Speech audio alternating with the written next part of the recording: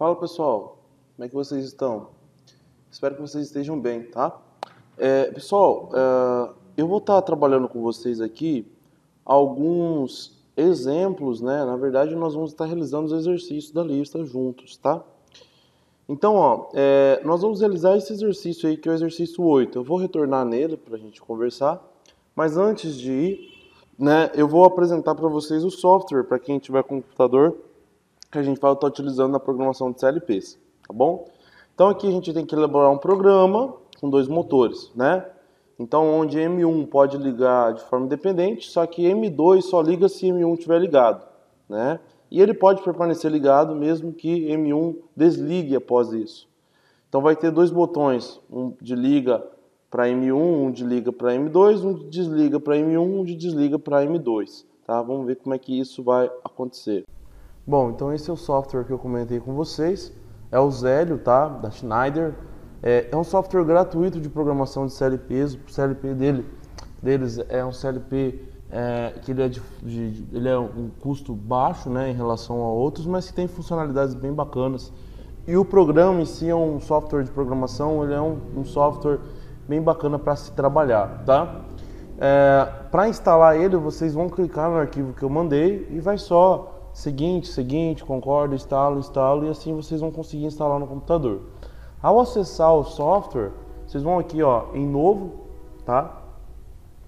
Ele vai perguntar para vocês qual que é o CLP que vocês vão utilizar. A gente vai pegar qualquer um aqui, tá? Vamos pegar esse primeiro aqui e essa primeira opção aqui em cima, ok? Vamos clicar em avançar.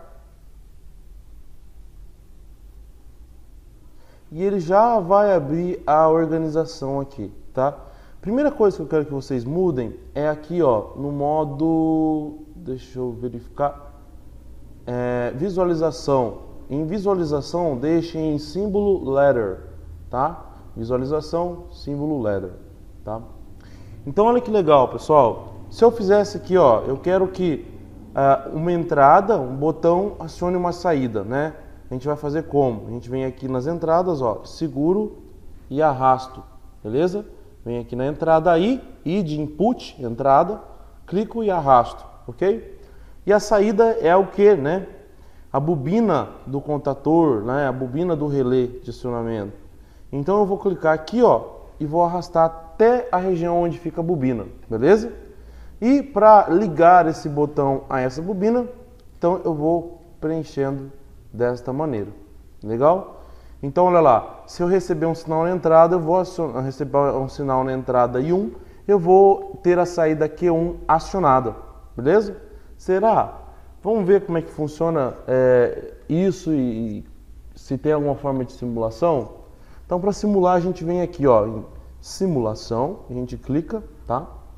Ele já vai abrir um ambiente de simulação, beleza? Quando eu clico em RAM, né, eu começo, eu ligo o circuito, vamos dizer assim, eu alimento ele.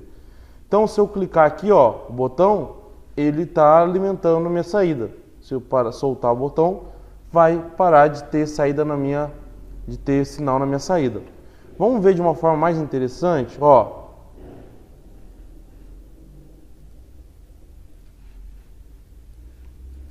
Temos aqui os botões, certo? E temos aqui as lâmpadas. Né?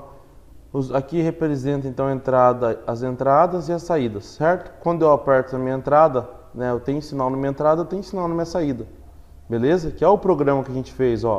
O programa que a gente fez liga esse botão aqui a essa saída aqui, ó, a saída Q1. Beleza?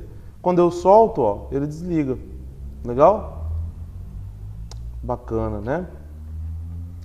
Bom, então, mediante isso, conhecendo como é que a gente faz a simulação e tudo, né? Eu posso vir aqui, ó, no modo edição. Ele sai da simulação, agora eu posso editar. Conhecendo então o software, como é que funciona, a gente vai poder fazer o nosso, é, o nosso problema lá. E vamos ver certinho como é que está esse problema para nós. Então, pessoal, olha lá. Agora com o problema aqui embaixo, né?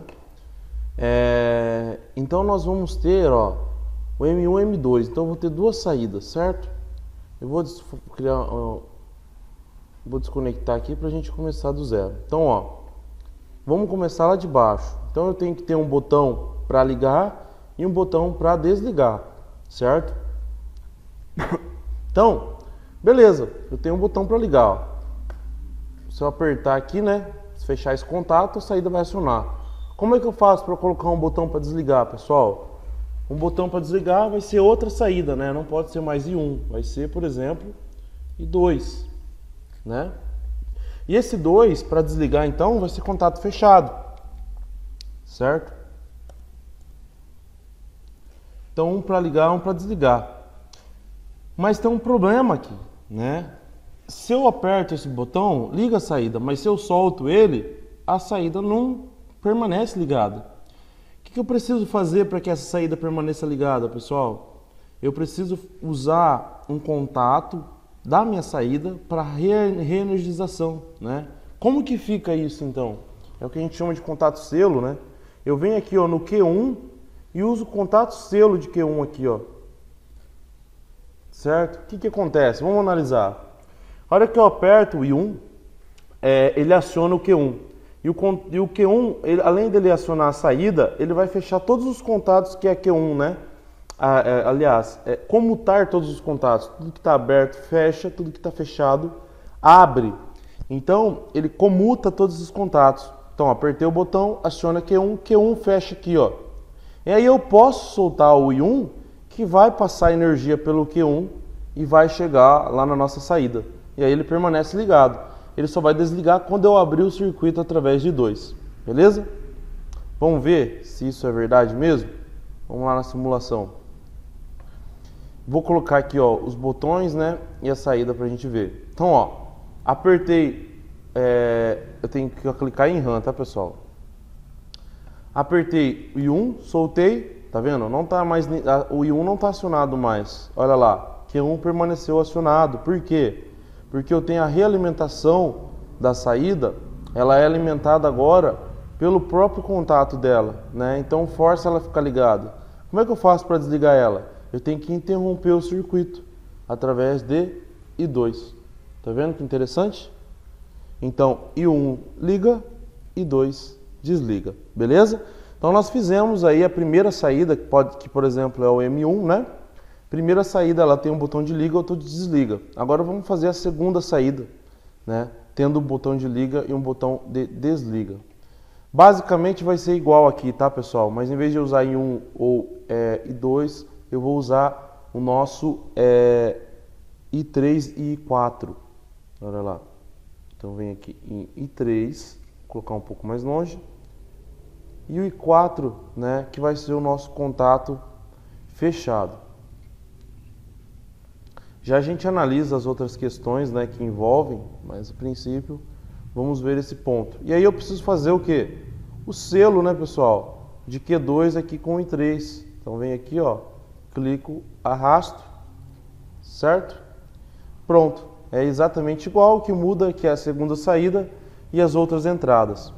Vamos ver isso funcionando então? né, se realmente o 1, o M1 e o M2, né, eu tenho duas saídas acionadas por dois botões distintos e desligados por dois botões distintos, vamos ver na simulação.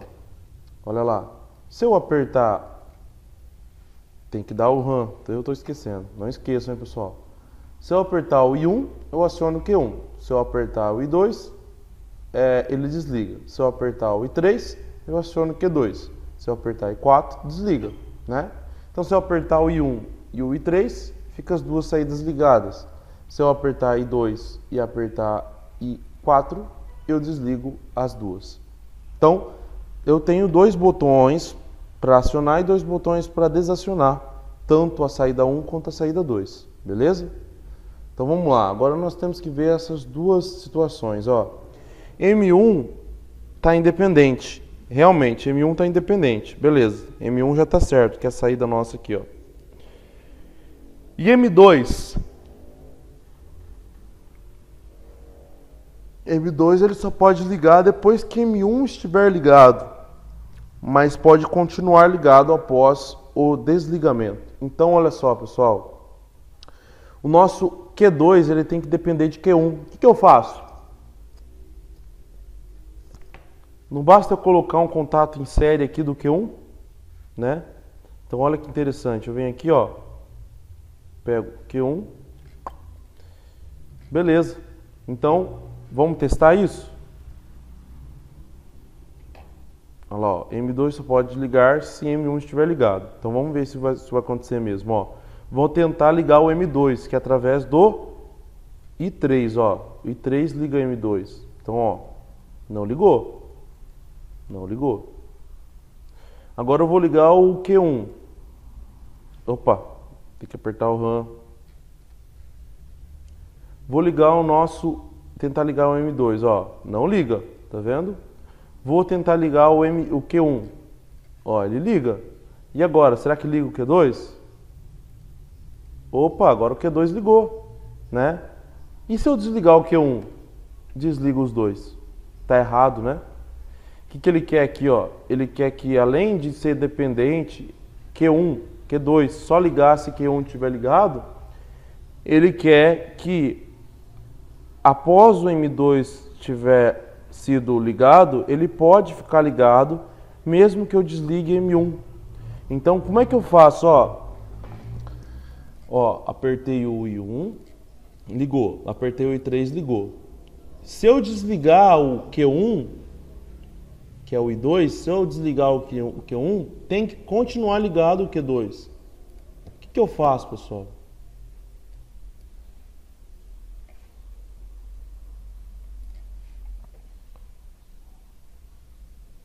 O que, que eu faço? Não basta eu colocar um contato selo aqui, ó, selando do próprio Q2, colocar aqui, né? Então vamos fazer isso. Como que a gente faz? Ó, pego o Q2, jogo aqui, ó. Beleza? Então o que, que vai acontecer? Apertei I1, ele vai acionar Q1, vai fazer o selo, beleza. E ele vai acionar aqui, ó, certo? É... Permitindo que, se eu apertar o I3, eu vou acionar o Q2 tá? O Q2 vai fazer selo aqui, como vai fazer selo aqui. Se eu desligar o Q1, abrir esse contato novamente, eu tô com o selo, então ele vai continuar ligado, não é verdade? Vamos ver isso funcionando? Apertei o RAM.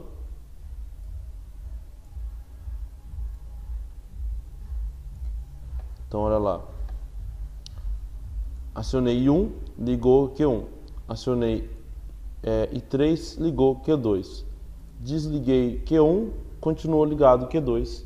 Eu tenho que ir lá desligar o Q2 para ele desligar, beleza? E o Q2 ele não liga sozinho, ele depende de Q1 ter acionado. Beleza, pessoal? Fechado? É esse então o primeiro exercício. Valeu, pessoal. Até a próxima.